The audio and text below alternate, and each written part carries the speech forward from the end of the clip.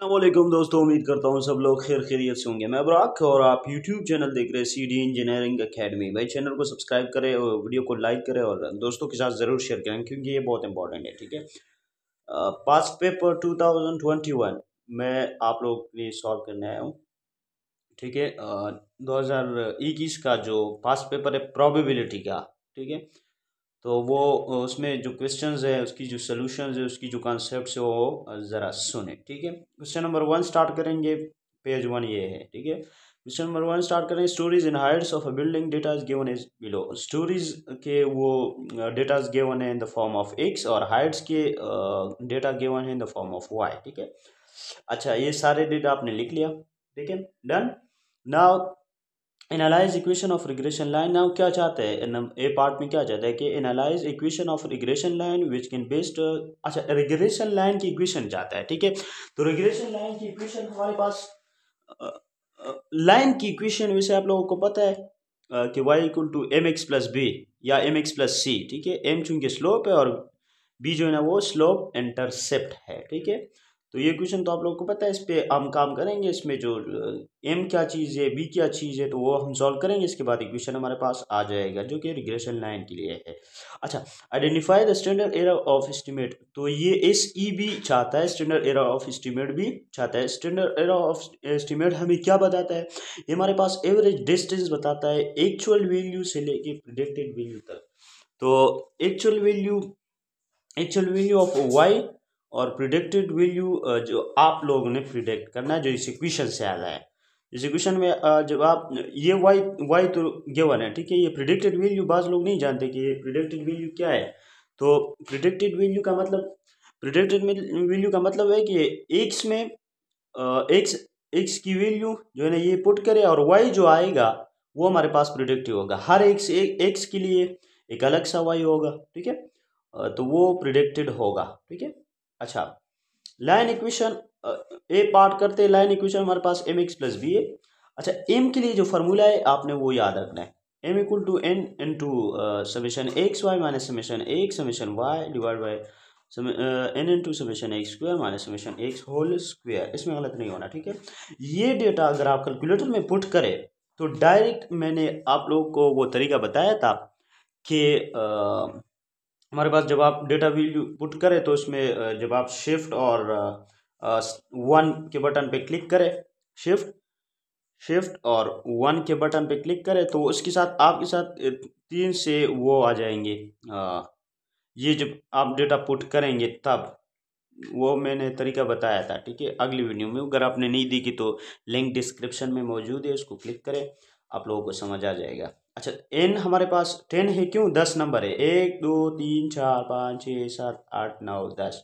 दस है ना? तो ना एन इक्वल टू टेन बन गया। समीशन एक्स हमारे पास समीशन एक्स हमारे पास सारे का सम ठीक है? समीशन वाई सारों का सम और फिर एक्स और वाई मल्टीप्लाई उनका सम ठीक है? और फिर एक्स पे स्क्वायर और उसका सम ठीक है? तो ये सारी वैल्यूज़ हमारे पास ये मैंने लिख के, ठीक है?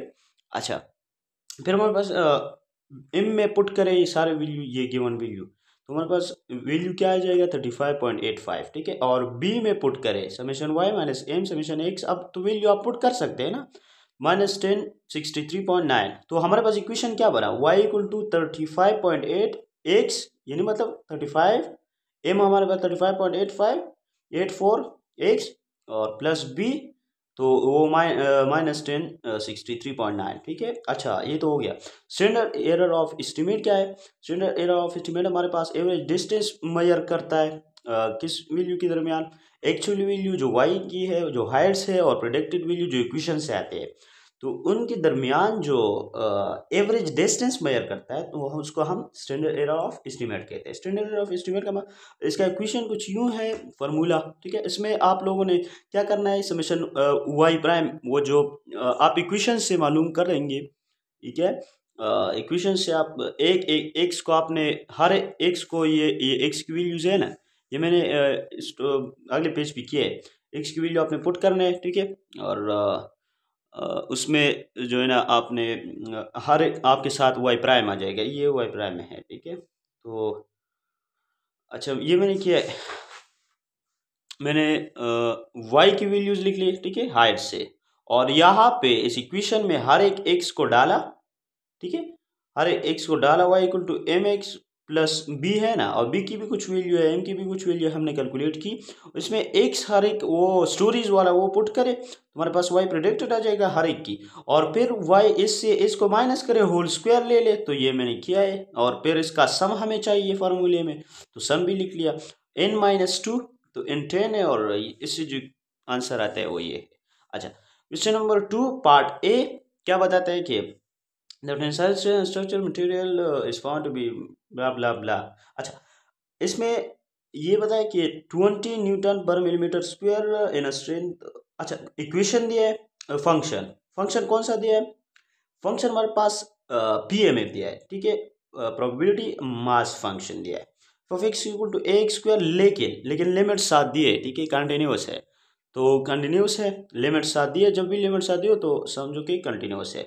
इस ये बता, इसमें ये बताया गया है कि रिसर्च से इसमें ये find the constant a in the function constant a in the function मालूम करे इस रेंज में, ठीक है? और probability of x greater than ten और फिर probability of x greater than five probability of x less than or equal to fifteen ये भी less than or equal to है। Greater than or equal to and median of x और median हमें चाहिए ठीक है? तो इसके लिए uh, मैंने उसको सॉल्व किया। अच्छा फ़ंक्शन आपने लिखना है f of x equal to a square ठीक है? लिमिट्स भी साथ गिवन है लिम अब देखिए जब भी हमारे पास लिमिट गिवन हो उन सारों का ये तो कंटिन्यूस है कंटिन्यूस में हम समेशन को इंटीग्रेशन में कन्वर्ट करते हैं। तो integration from negative infinity to positive infinity is equal to one ये तो रूल है. ये तो ये तो रूल है. ये तो आप लोग स्लाइड्स में देख सकते हैं. ठीक है? कंटिन्यूस रैंडम वेरिएबल्स में. आप लोग उसको जाके देख ले. Lecture number eight b eight b I think तो अच्छा यहाँ पे लिमिट्स ज़ीरो से लेकर ट्वेंटी तक है. तो ए एक्स स्क्वेयर फ़ंक्शन कौन सा है? A x square d x equal to one limits इसमें पुट करें. इंटीग्रेशन ले ठीक है? एक्स क्यूब ए बाहर आ जाएगा. Constant x cube by three into limits put करें. तो लिमिट जो पुट करें तो twenty cube divide by three into a एक हमारे पास क्या जग जाएगा three divide by twenty into a three by twenty cube ठीक है? अब ये बताया कि probability of ten less than probability of ten अच्छा probability of x greater than ten and less than or equal to fifteen तो इसका मतलब है टेन और फिफ्टीन के लिमिट्स में वो लिमिट आप पुट करें इस फ़ंक्शन में और जो वैल्यूज़ आ जाएगा वो हमारे पास probability of x greater than ten and less than equal to fifteen बन जाएगा। इस, इस वही गिवन वैल्यूज़ वही गिवन लिमिट्स आपने पुट करने फ़ंक्शन भी वही गिवन है ठीक है? एक्स क्यूब बाई थ्री है ठीक है? और चूँकि ए का वैल्यू आप लोगों ने मालूम किया था? थ्री बाई ट्वेंटी क्यूब और इससे इस इसमें आप जब आप पुटिंग करोगे तो लिमिट्स पुट करोगे तो इससे ये आ आ जाएगा ठीक है? और probability of zero point two nine six अच्छा मीडियन बताया मीडियन बताया मीडियन हमारे पास क्या चीज़ है? मीडियन हमारे पास उसमें कंटिन्यूस रेंडम वेरिएबल में हमारे पास ये सारे आप लिमिट पुट करें। लिमिट लेकिन आपने लिमिट कौन सा पुट करना है? कौन सी लिमिट तक प्रोबेबिलिटी हमारे पास वन ओवर टू होगा? तो उस लिमिट जो आप मालूम करोगे तो वही लिमिट उसका मीडियन होगा। अच्छा प्रोबेबिलिटी ऑफ़ एक less than or equal to m equal to one over two तो प्रोबेबिलिटी लिमिट ज़ीरो से लेके ज़ीरो से लेके, क्योंकि पहला जो लिमिट है उसका ज़ीरो है ना ज़ीरो से उस लिमिट तक जाओगे जहाँ पे प्रोबेबिलिटी हमारे पास वन ओवर टू का या ज़ीरो पॉइंट फाइव होगा। तो zero into integration of limit zero into m x square d x equal to one over two ठीक है? अच्छा। फिर फिर हमारे पास solution probability of five two seven eleven ये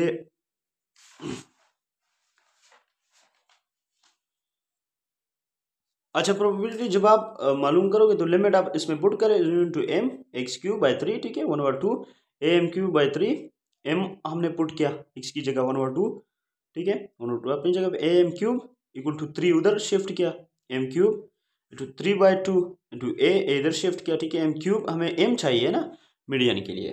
तो three into two three divide by two into three point seven five वो ये जगह, ये ए की वैल्यू है मतलब थ्री बाई ट्वेंटी क्यूब ठीक है? इससे ये आया, ठीक है? अच्छा एम क्यू इस वो इसको डिवाइड करें तो फोर थाउज़ेंड बन जाएगा एम क्यूब उसका क्यूब रूट ले ले तो फिफ्टीन पॉइंट नाइन सिक्स उसका मीडियन बन जाएगा। अच्छा क्वेश्चन टू पार्ट ए हमारे पास क्या बताता है कि पार्ट सॉरी पार्ट बी उसमें टेबल गिवन है एक्स की और एफ़ ऑफ़ एक्स की ठीक है? तो एफ़ ऑफ़ एक्स उसका प्रोबेबिलिटी है, ठीक है? ये ये जरा सुन ले। ये प्रोबेबिलिटी है। Find the probability probability that the next letter will produce five two seven life bulbs ठीक है? अच्छा next letter five two seven अब फाइव टू सेवन उसका प्रोबेबिलिटी सम करके जो चीज़ आएगा, जो भी नंबर आएगा, वो उसका उसका वन का रिक्वायरमेंट होगा। अच्छा टू का क्या है? Find the mean and standard deviation mean और स्टैंडर्ड डिविएशन ऑफ़ एक्स मालूम करे और इंटरप्रेट भी करे mean in the context of the problem ठीक है? अच्छा पहला पार्ट कुछ यूँ कि probability of five two seven life birds अच्छा फाइव टू सेवन ठीक है? तो probability of five into seven का क्या मतलब है कि यहाँ पे आपने फाइव की प्रोबेबिलिटी और सेवन की प्रोबेबिलिटी को सम करके मतलब probability of x equal to five plus probability of x equal to six probability of x equal to seven उन सारों का प्रोबेबिलिटी यहाँ पे प्रोबेबिलिटी मैंने कहा ना zero point two eight zero point three one zero point two two इन सारों को सम करें ज़ीरो पॉइंट सेवन नाइन जो वन का रिक्वायरमेंट्स होगा। अच्छा probability of at least six lax अच्छा एटलीस्ट इसमें से सिक्स जो है ना, वो होना चाहिए सिक्स के बाद, अब सेवन में भी सिक्स आता है एट में भी सिक्स आता है नाइन में भी सिक्स आता है। तो ये एटलीस्ट का मतलब ये कि कम अज कम एस में से एक सिक्स हो और बाकी अब अब फाइव में तो सिक्स नहीं आ सकता ना। तो फाइव न लिख के ग्रेटर देन सिक्स लिखे तो उसमें सिक्स आएगा सेवन आएगा एट आएगा नाइन आएगा। उन सब का प्रोबेबिलिटी सम करे और पॉइंट एट सिक्स का प्रोबेबिलिटी बन जाएगा। अच्छा मीन और स्टैंडर्ड डिविएशन का मतलब क्या है? इसके लिए फार्मूला कुछ यूँ है कि आपने summation x i into probability of उसका फ़ंक्शन का। मतलब हर एक एक्स के लिए, हर एक एक्स के साथ वो प्रोबेबिलिटी मल्टीप्लाई करके जो सम आएगा उसको हम मीन कहते हैं, ठीक है? थ्री थ्री का प्रोबेबिलिटी पॉइंट ज़ीरो फोर है तो उससे मल्टीप्लाई करके जमा करें plus four into zero point one zero ये भी क्या वन है? फोर से नीचे जो उसके साथ यहाँ पे, ठीक है? फोर से यहाँ पे थ्री के साथ ये जमा कर मल्टीप्लाई करके प्लस करें इसके साथ प्लस करें इसके साथ इसके साथ इसके साथ तो ये हमारे पास मीन बन जाएगा। फाइव पॉइंट एट, ठीक है? और स्टैंडर्ड डिविएशन का फार्मूला कुछ यूँ कि उस पर सिर्फ़ उस summation x minus mu whole square मतलब ये मीन है ना? Probability of x equal to x अच्छा हर एक के लिए आपने हर एक को आप सुनना है, ठीक है? हर एक के साथ मीन को सब्ट्रैक्ट करें मतलब एक्स के एक्स से मीन को सब्ट्रैक्ट करें। एक्स ये है ना थ्री माइनस माइनस मीन उसको सब्ट्रैक्ट करें फाइव पॉइंट एट तो three minus five point eight whole square into zero point zero four उसका प्रोबेबिलिटी ठीक है? उसका फ़ंक्शन इस तरह ये भी करें four minus five point eight हर एक से five five point eight minus करें स्क्वायर ले ले प्रोबेबिलिटी मल्टीप्लाई करें सम करें अंडर रूट ले ले, जो भी वैल्यू आएगा, वो हमारे पास क्या आ जाएगा?